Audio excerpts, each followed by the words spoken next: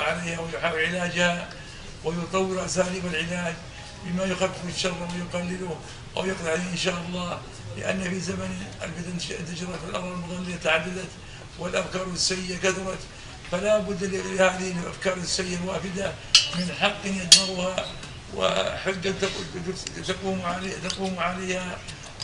قال جل وعلا من نقذف بالحق على الباطل فيدمغ فاذا هو زاهر هيذكر كبار العلماء.